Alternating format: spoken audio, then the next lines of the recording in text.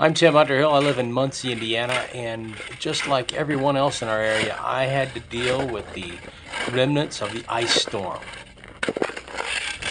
Well, I got to looking at the driveway, and it was such a mess. It was at least three inches of ice, and I didn't know what I was going to do to, to clean it up. So I got this regular shovel wasn't working, and I found this roofing shovel with a kind of a fulcrum on the back, and so I used it and it worked quite well, but I could only do about an hour at a time. So for three days straight, I spent an hour in the driveway and uh, did that instead of going to the gym. A lot of work.